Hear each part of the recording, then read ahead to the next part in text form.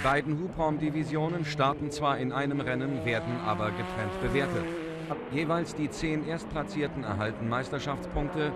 Werden zwei Rennen am Wochenende ausgetragen, gibt es pro Rennen jeweils halbe Punkte.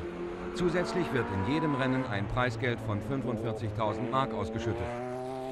In der großen Division starten einige der international mittlerweile sehr selten gewordenen Porsche 962C. Für deren Piloten geht es in der Interserie zusätzlich um wertvolle Punkte für den hochdotierten Porsche Cup. Titelverteidiger ist der ehemalige Formel-1-Pilot Bernd Schneider, hier im Bild während des Trainings zum Interserie-Saisonauftakt in Hockenheim. Schneider hat sein Meisterteam aus dem letzten Jahr verlassen und ist von Porsche Kremer zu Jöst Racing gewechselt. Für Teamchef Reinhold Jöst startet Schneider auf einem Porsche 962C nicht nur in der Interserie, sondern auch in der amerikanischen IMSA-Serie und in der Sportwagen-Weltmeisterschaft. Einer der engagierten Amateure ist Otto Altenbach, der für Obermeier Racing ebenfalls einen Porsche 962C an den Start bringt. Auch dieses Team wagt gelegentlich Auftritte in der Sportwagen-Weltmeisterschaft. Otto Altenbach ist hier auf der Jagd nach einer guten Trainingszeit für das erste Saisonrennen in Hocken. René Herzog in einem Nissan mitspielen.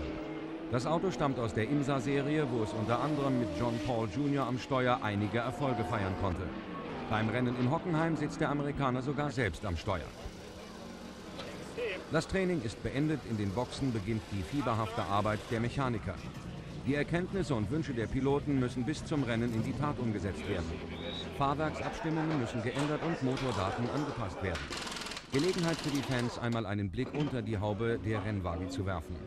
Porsche 962C heißt in der Interserie 1991 das Maß der Dinge.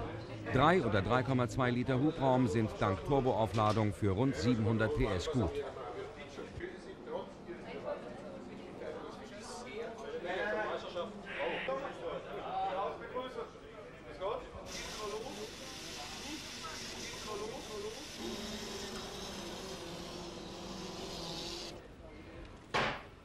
Etwas beschaulicher als bei den großen Teams geht es bei den reinen Privatfahrern zu. Hier zum Beispiel beim Schweden Björn Riebers.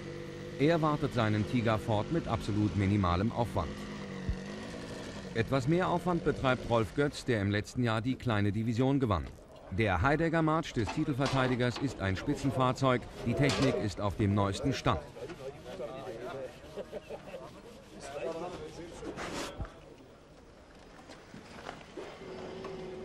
Bei Obermeier Racing werden gerade die Bremsscheiben abgeschliffen. Die Mechaniker haben viel Arbeit mit dem Porsche.